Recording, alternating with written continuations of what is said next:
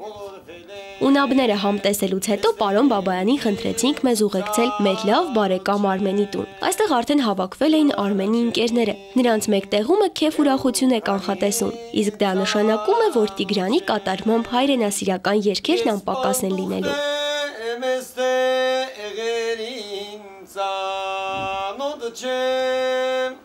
Քույրի գասա որն է չանփան բիգյոլի Ես պանդուխտեմ էստեղ երկին ծանոտ չեմ Քույրի գասա որն է չանփան բիգյոլի Մինչ որդին ու ընկերներն ուրախանում են, Արմենի մայրը Երանիկ մայրիկը հոնի թթու է պատրաստում։ Հոնի թթվի բուժարար հատկանիշները շատ-շատ են։ Կախարդական ջերմիջեցնող է, վերացնում է մրսածությունը, լավացնում մարսողությունը, շատ օգտակար է ստամոքսի համար։ Մի խոսքով հոնի թթուն իսկական բժիշկ է, ընդ որում այն կարելի է օգտագործել եւ հիվանդությունները բուժելու նպատակով եւ պարզապես որպես հետաքրքիր կերակուր։ Այն կարող է լավ նախաճաշ կամ ընթրիք լինել։ Կան այգեձորցիներ, ովքեր սիրում են հոնի թթուն սխտորով օգտագործել գյուղական պայմաններում մրցած մարդին, ասենք տակությունի բան, որպեսզի քրտնցնելու միջոցառ այդ մարդը առողջանա, մենք այս 4 հունից բերում ենք ձմերը սարքում ենք հոնի թթու։ 4 հունը սովորական հոնը մի քիչ եփեկան ջրի մեջ երացնում ենք քիչ, հուփռում չորանում։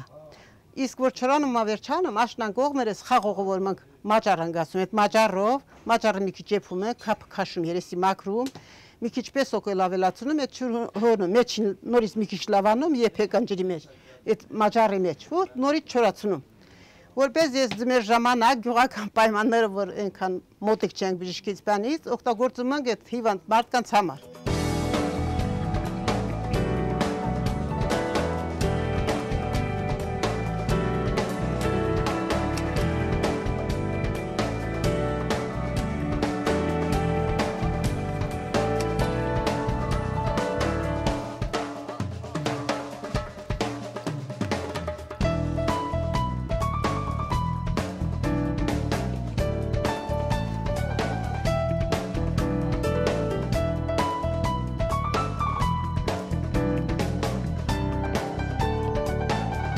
Հոնի թթուն համտեսեցինք եւ Երանիկ Մայրիկին, Արմենին ու իր ընկերներին հրաժեշտ տվեցինք։ Ուրախ ենք, որ այստեղ էլ լավ ընկերներ ու բարեկամներ ձեռք բերեցինք։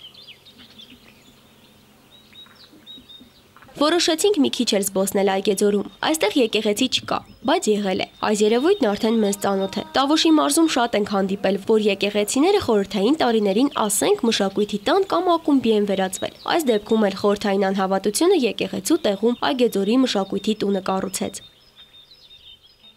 Այգեձորցիները պատմեցին, որ գյուղում նաև հնագույն շրջանում կառուցված եկեղեցու ավերակներ կան։ Սուրբ Փրիփսիմեն է, ասում են 5-րդ դարում է կառուցվել։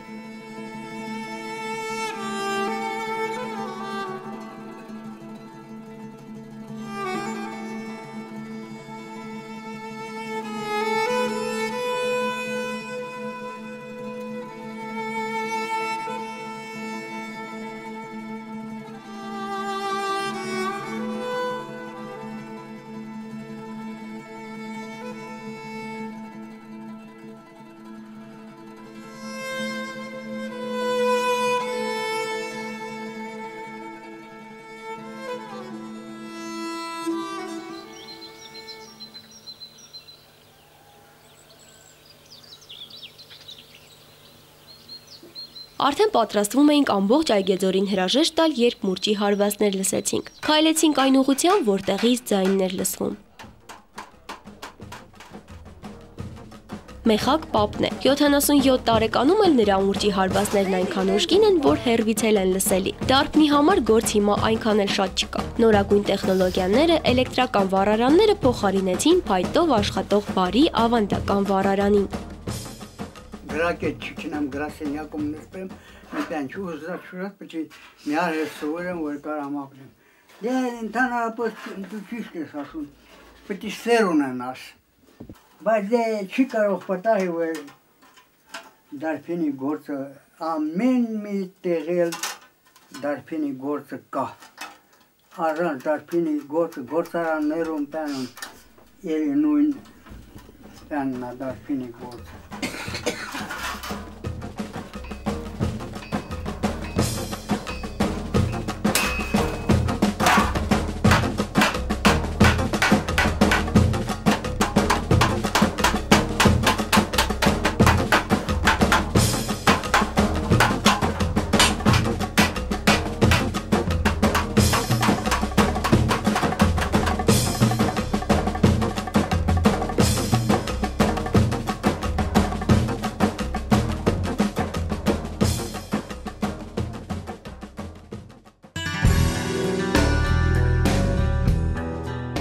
Պիտի մայրաքաղաք վերադառնանք։ Գնում ենք, բայց վերադառնալու ենք։ Հաստատ ենք որոշել։ Դուք էլ եկեք Այգեձոր։ Այգեձորցիները հյուրեր ընդունել շատ են սիրում։ Ուրախանում են, որ սահմանամերձ այս գյուղում իրենք մոռացված չեն։